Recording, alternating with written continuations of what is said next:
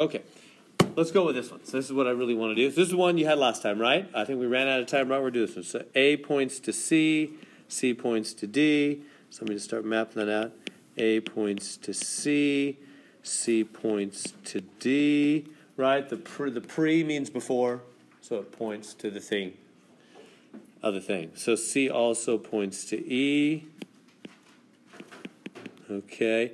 B, D, and E all point to F. B, D, and E. Okay, so F will be like here. That's right, that's right. I'm starting to remember this now. And then B is like here. And B, D, and E all point to F. And F points to G and H. F points to G and to H. And G and H point to I. Okay, now I got to redo it because I ran out of room. I didn't realize how far it'd go. So there's the general thing. I just got to make it nicer now. We've been through this. I'm going to do this real quick over here now. Change the thing. So here's, well, this will be, this will be A. And A points to C. And C points to D and E.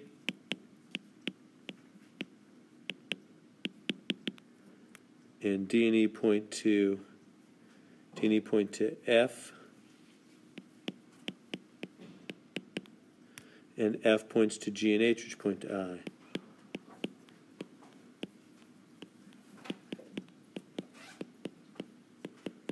And then also, I, I forgot B. B points to F also. B points to F. Okay. All right, so right, so I just followed the precedent. Remember how to do that? Everybody okay with that part? Just whatever comes before, pre, before, points at, at whatever. Okay, oh, I got to put the numbers on there. 12, 6, 4. So for A is 12, B is 6, C is 4. I'm just going alphabetical. 12, 6, 4. Oh, 12, 16, 4. Come on. 12, 16, 4. 12, 16, 4. 8, now I'll do the next three. 8, 1, 4. So eight one four eight one four one eight one GHI one eight one okay and I got to put on here the start and the end remember is everybody everybody good so far to there see how I do the precedent thing make the arrow diagram and now I have to um, have to put the start and the end on there. So the start will be right here. And do you see what that's going to point at? It's going to point at A and B, right? So a lot of times people forget the B because B has nothing else pointing to it also, right? And then the end over here, I is going to be the only thing pointing at the end because the only thing that's not pointing to anything else, right? The end and the start are always zero by themselves. Okay, and then then because they're saying this is number three, again in eight point three, because they're saying to do the critical path method. So this is what you really want to get clear for the practice exam today, the real exam tomorrow. Is critical path means to do the backflow add up thing. Is that making sense? You want to see how, how much the paths take. So this is where I start at the end and I put the brackets or the boxes or whatever you want to do. Zero, and then kind of add backwards. So this will be, oops, come on. Again. All right, this will be one.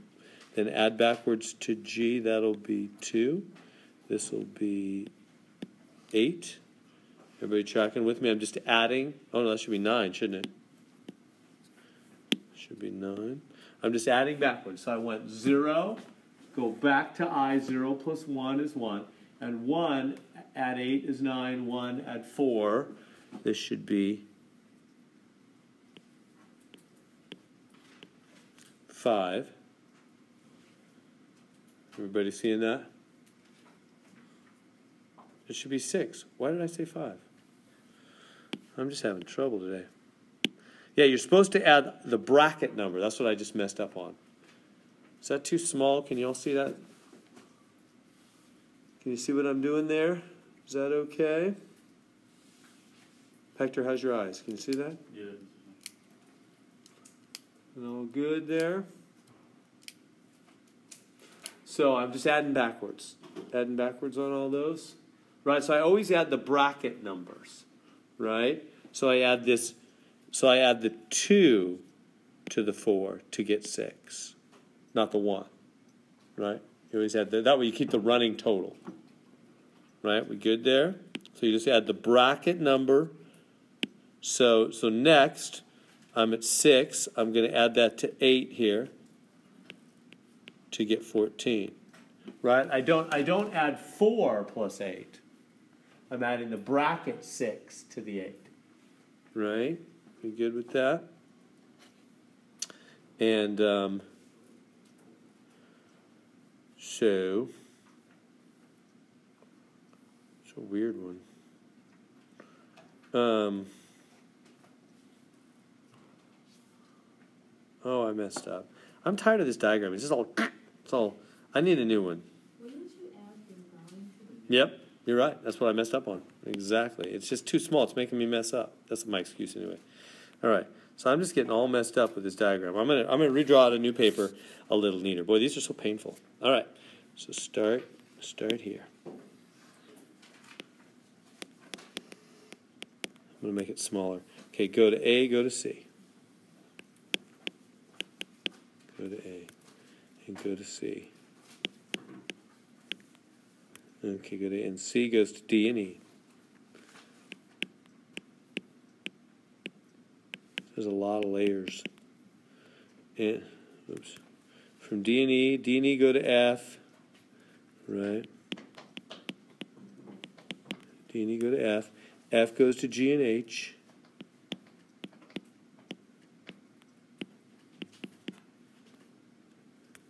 G and H go to I.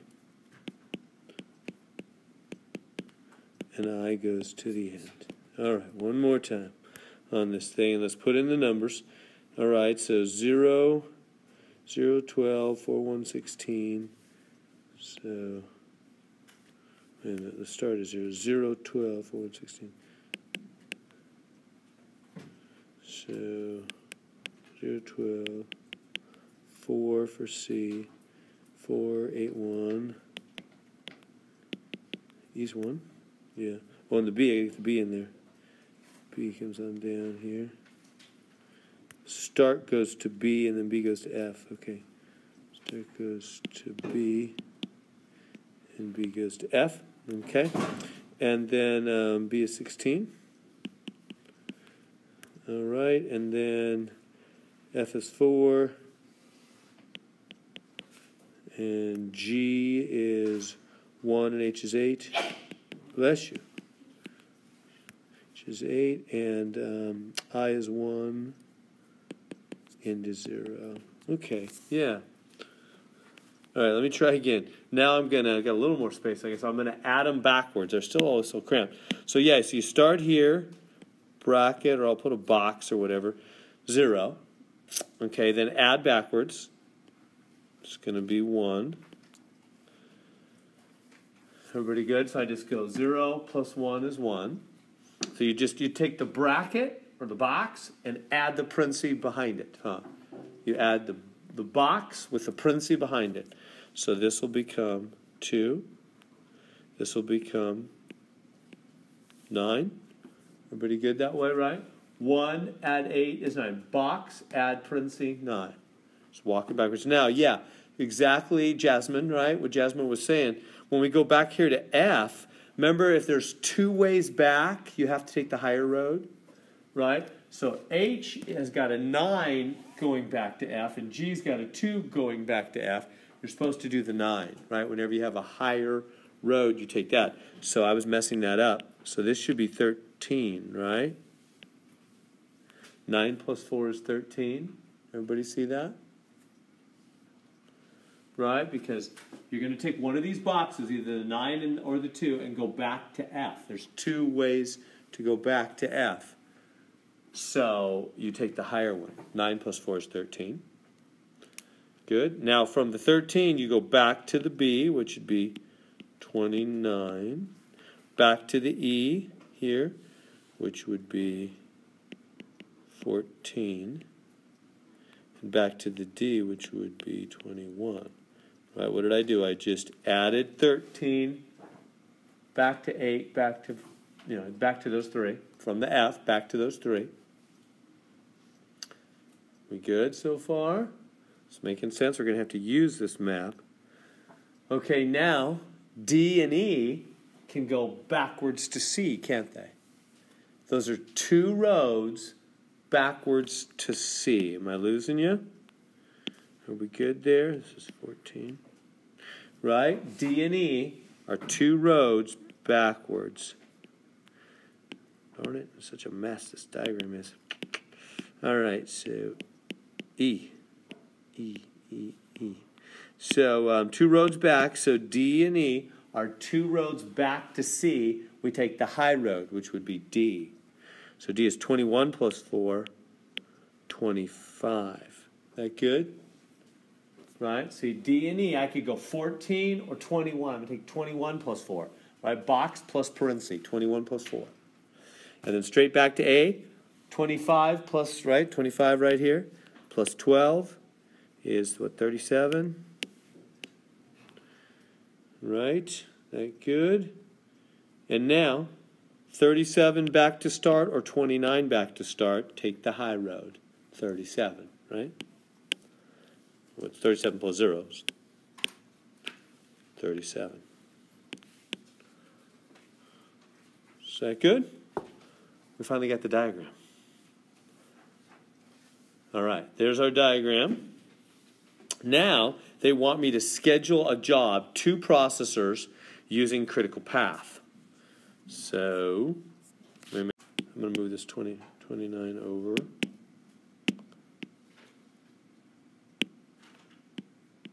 It's not in the way. Okay, so then down here, I'm going to have to do processor 1, processor 2, and make a, a timeline with the job. Okay, so here we go. So the priority, how do we decide? What's the priority list? It's critical path. Now, what do we mean by critical path? It's, it's just like decreasing time. It's almost the same as decreasing time. It means highest box, but you take the box number instead of the parenthesis number. That's the only difference. Does that make sense? You see the difference between decreasing time and critical path? They're almost the same. You always take the highest number. It's just with decreasing time, decreasing time, you're just looking at the parenthesis numbers, which is how long just that job takes, right? The, the box number is how long from there all the jobs to the end. The path, in other words. Does that make sense, the difference? So the critical path plan's a little smarter because it doesn't just look at that one individual job, but how much work from there to the end, the whole path, right? Like when I put a, a 9 next to this H parentheses 8. Everybody clear what that means? The parentheses number is how long job H takes. H takes 8 hours. But the box 9 means from H to get to the end, there's 9 hours of work, right? You Got to do H for 8, I for 1, and then you're done. That's why it's 9. Everybody see that? So that's the difference. The box numbers are how long the path takes all the way to the end. The parenthesis numbers are how long just that job takes. So with decreasing time, so, so they'll tell you on the practice test today and on the real test tomorrow, there'll be one, probably one problem that gives you a big map and says do it with decreasing time. And that means you're just looking at the parenthesis numbers. You're not even going to have box numbers, you know, on those. And then there'll be another one that says, okay, do it with critical path like we're doing right now, which means you got to first get all the box numbers by the add backwards thing called the backflow algorithm, add backwards thing. Got to get that first off. And then you got to pay attention to the box numbers whenever you're deciding a priority decision. Higher box number goes first, just like higher parenthesis number went first for decreasing time. Did I update the homework or did, did it say this was due? Is it good? Do tomorrow. Perfect. Okay, that's good. All right, so here we go. So processor one. So uh, what are the jobs we can, what are the options? We, we always, arrow diagram first, right? It's always arrow diagram. That's the main thing. Priority list is very much secondary. So, looking at the arrow diagram, what are my options? What jobs could I start with?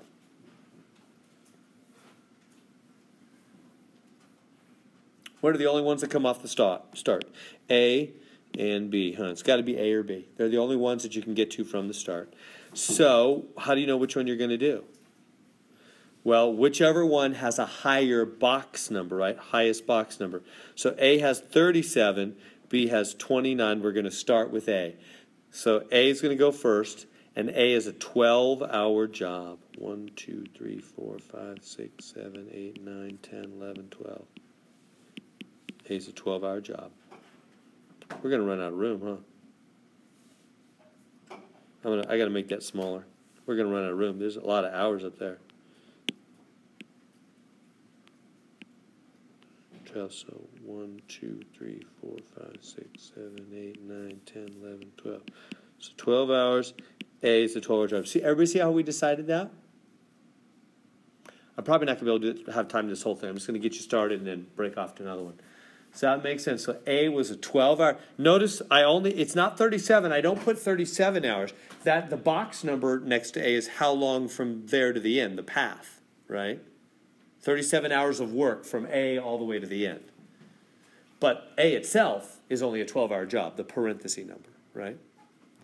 Now, why did I start with A instead of B? Because the box number 37 is higher than 29 because there's more work to the end. If I was doing decreasing time as my priority, I would have started with B actually, because B has a is a longer job all by itself, isn't it? 16 hours. And that's what you pay attention to if they say decreasing time algorithm. Right? All right, so processor two, what job is he going to get? He's going to get the B, right? That's the only other job available right now, A and B. So he gets the B, that's a 16 hour job. So this is 12, 13, 14, 15, 16. So he's going to go 16, 11, 12, there's 12, there's 16. So B is a 16 hour job for processor 2. So everybody good with that. You see why we started with A? Because his box number's higher. So with critical path, it's the box number. If it was decreasing time, they'll both be on the test. If it's decreasing time, it'd just be the parenthesis number. The higher parenthesis number would go first. Okay, so then you go say, okay, what job is done first? A, A is done first. So you go, okay, A is done. Uh, processor 2 is down here working on B. At, that's the state of affairs at 12 hours. Processor 1's like, I'm ready for a new job. What jobs are available for processor 1? Only C, huh? There's just no other options. Everybody see that from the arrow diagram? I don't need to think about priorities or critical path or whatever. Who cares? The arrow diagram is first, and usually he only gives us one option, and this is that case. C is the only job available, right? Can't work on any because B's B's not done yet, so you can't go to any of that stuff. Only C is available. So C is a four-hour job, so that'll take right to 16, won't it? From 12 to 16. Careful, careful to not accidentally grab the box numbers. The parentheses are how long the job takes, right? C is a four-hour job. Good.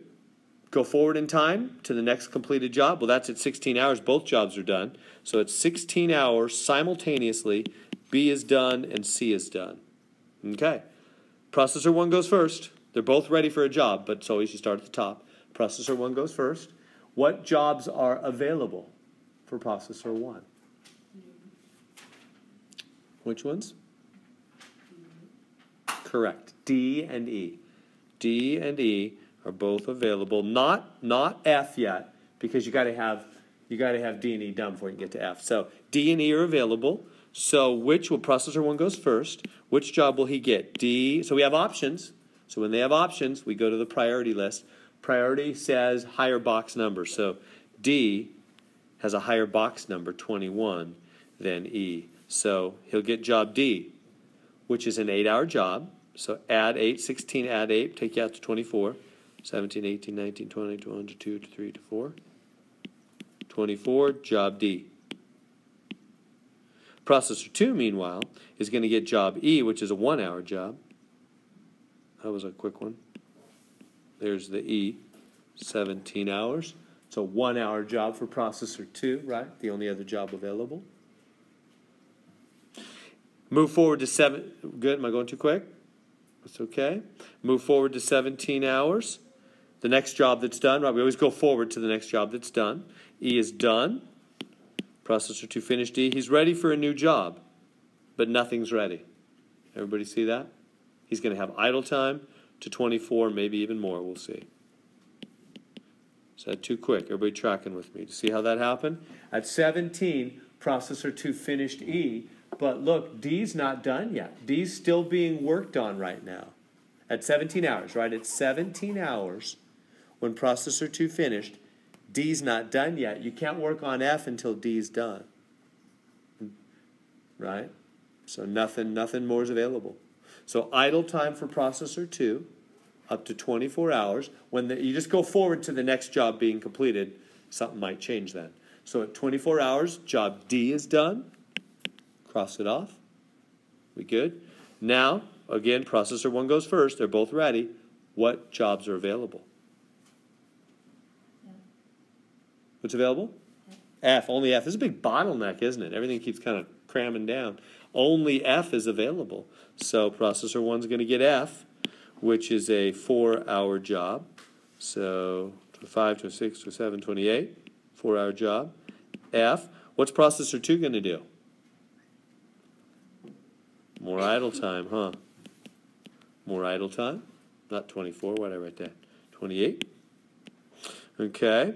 Now, uh, now F's done. What jobs are available?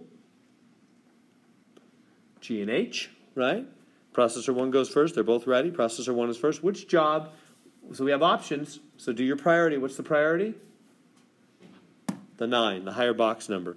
So who goes first? Processor 1. So he actually gets the H, doesn't he? 8 hour job. 29, 30, through 1, through 2, through 3, through 4, through 5, through 6. 8 hour job. H. Processor 2 gets G, a 1 hour job to 29. I'm writing that 28 too big. 28, 29 for G.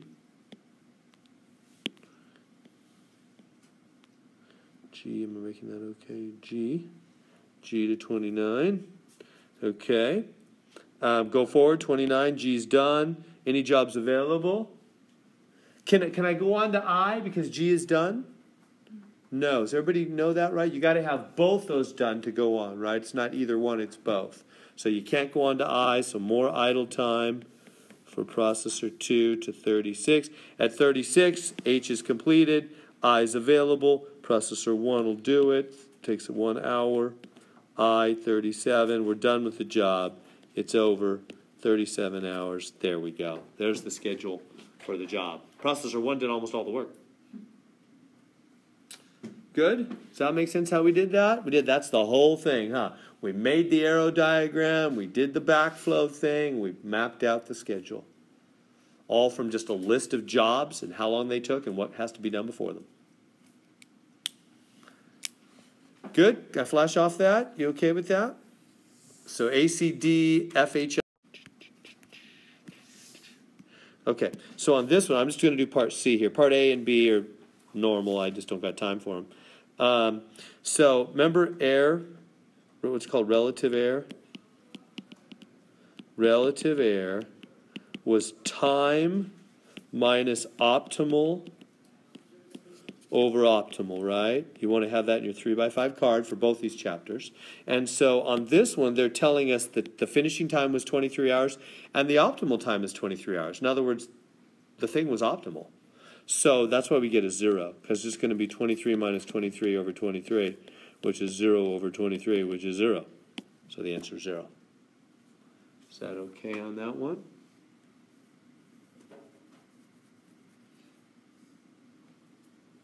Flash off that if you're okay with that. Okay, so the last last thing is independent. So last thing, sometimes tasks are independent. And what that means is you don't really have to do some things before other things. Suppose you're making Thanksgiving dinner. You got to make the green beans, you got to make the turkey, you got to make the potatoes, it doesn't really matter what you do before what, right? You don't have to have the, the green beans done before the turkey, you don't have to have the rolls done before the whatever, right? The order, you know, some jobs, the order doesn't really matter. Whereas building a house, you got to have the walls before you do the roof. You got to have the plumbing underground before you do the foundation. You know, there's orders that matter. But with some jobs, the order doesn't matter. Those are called independent. Independent. They don't depend on one another. Um, order does not matter. So sometimes you have jobs where the order doesn't matter. These are way easier because you don't have an arrow diagram you got to keep looking at. There's no arrows. Nothing leads to anything else. You can do any job anytime you want. These are way, way easier. So what are they saying on this problem? They are saying, um, I don't know, I Okay. So, so again, independent, you know, they're, they're separate. So they want me to schedule a job with these um, three processors, critical path algorithm. Okay. So I'm going to, here's the, here's the different jobs. No arrow diagram because they're independent. Much, you'll like this. This is super easier. Even, even for three processors, even critical path, it doesn't matter. It's all easy. Processor 1, processor 2, processor 3. Here we go. If I have enough room, I tried to leave enough. All right, we'll see. I have to squeeze them in. Um, okay, so here we go. Do these straight. So all right. So they're saying critical path. Remember what critical path means? Highest number first. Right? I notice this time I don't write box number because there are no boxes. There is no arrow diagram. So it's it's really just their own number. Decreasing time would actually be the same as critical path when they're independent because there's no paths. It's just their number. Does that make sense? So critical path is only a big pain, like in the last problem, where we have that big arrow diagram, we got to add everything backwards. So when they say critical path on independent, it just means highest number. Don't worry about any paths or any boxes or anything. Okay, here we go. So um, it's time to start a job. You can pick any of them. There's no arrow diagram. Pick any job you want. So how do we decide which job for processor one? What's the priority schedule? Highest number, right? Does that make sense? So I just look at those jobs. I just pick the highest number. Which one's high? The B? The B, right? The B is seven. So B will be a seven hour job. One, two, three, four, five, six, seven. Seven hour job. Processor one will do B. Good so far? And then processor 2, we'll give processor 2 the next highest job, which would be what, the D, the 5?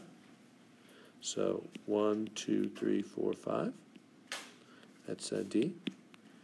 And then the next highest job is the F4. 1, 2, 3, 4. Let me put the 5 here, 5 there. Good so far?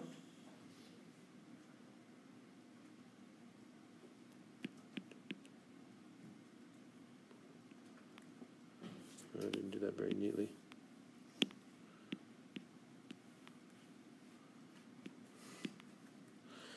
Okay.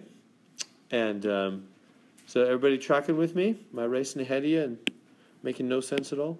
Is that okay? So independent again, you have total freedom. No arrow diagram. Pick any job you want at any time.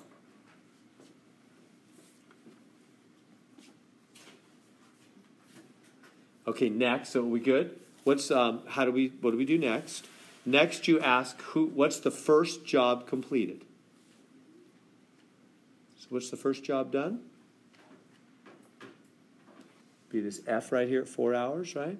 That's the first job done. So he's ready. He comes back to the to the manager, to the boss office, and says, "Hey, I'm ready for a new job. I finished the mashed potatoes or whatever.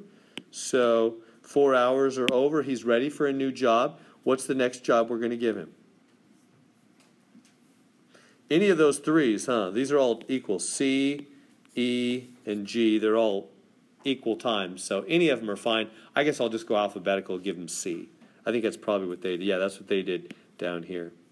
I'll give them C. One, two, three. C, seven hours. Three. Eh, we're at seven hours because it's a three-hour job after the four hours. Is that good? What's the next person that comes to the office? Right here, processor two, at five hours, is ready for a new job. So what are you going to give him? It'd be like E. That one's next, right? Three hours, three hour job E. So give him a three hour job E. That's his six, seven, eight. That's, that's getting off a little bit, isn't it? I'm getting off on my numbers. That's job E. Eight hour job E. And next one ready for a job. Oh, it's seven hours. These guys are tied. At seven hours, seven hours. These guys are tied. They're both ready. Processor one always goes first when they're tied. He'll get job G for three hours. Eight, nine, ten. G. What else is there? Who's who's ready next? The the processor three. He gets job A for two hours. Eight, nine. And that's it, right? We're done? All the jobs. So that's really simple, right? You don't have to you don't have to deal with that arrow diagram. Just next, next, next, next, done.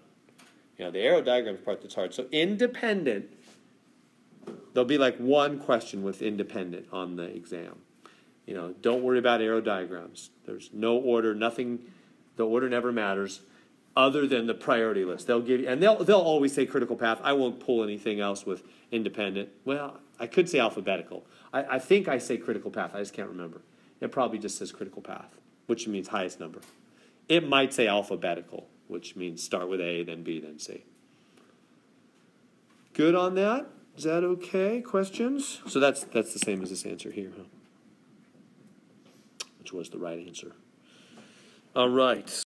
So the error, um, uh, error again. Remember is is time minus optimal over optimal, just like it was in the last chapter. So it's the time. So the time was ten hours for the job we just did, right? If you look back, didn't we finish at ten hours? The last everybody was done at ten hours, huh? That's called the finishing time right? Everybody, everything else was idle time up to there. The, the whole job got done at 10 hours. I was the last person to finish the last job. So the whole job was done at 10 hours. That's the finishing time. Well, it turns out that's not the best. Here's, here's, here's a, an optimal answer that actually does a little better. So notice critical path isn't perfect, is it? There, there are other ways to do things that are better, it turns out. And that's there it is all the jobs are done in nine hours. Nobody wastes any idle time. So the optimal answer is nine hours, it turns out. So the critical path method was wasteful by one hour. So 10 minus 9 over 9, which is 1 ninth. On your calculator, you know, just whatever that percentage is, I think it's 11.1%. Yeah. So there we go. That's the percentage error. So, that's, so that means the schedule we just made is, is 11% error compared to the best possible schedule. It's 11% waste, in other words. Does that make sense?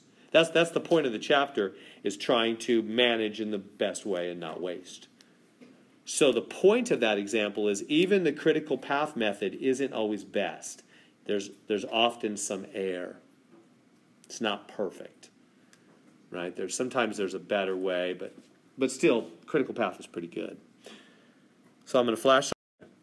Let me just give you this last fact, and you'll be ready for your practice exam. That is, um, it was proven, 1969, whatever, who cares? It was proven that with independent tasks, this is the last little formula you'll need that's on the exam. It's simple to use, kind of like the error formula. Independent tasks with crit, crit, critical, I can't spell and talk, with critical path, with critical path method, algorithm, you want to call it, um, the error is always less than n minus 1 over 3n where n equals number of processors.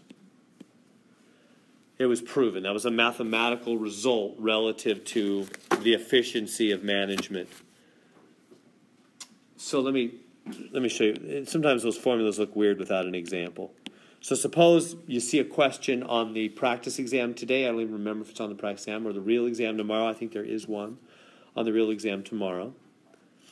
And it says, "Hey, um, how much error? What's what's the maximum amount of error for um, independent independent tasks with the critical path method, you would just use the formula n minus 1 over 3n. And, and they might say n equals 4 processors. So you would just take the 4 and plug it in. That's all. 4 minus 1 over 3 times 4, which would be what? 3 twelfths, which divided on your calculator, 25% error. Done. Does that make sense? What that's saying is um, this guy named Ron Graham proved in 1969 that this is really a pretty good method. The uh, with independent tasks, with independent. Notice that's independent. That last kind, like Thanksgiving dinner, where the order doesn't matter. With independent tasks, critical path works pretty good.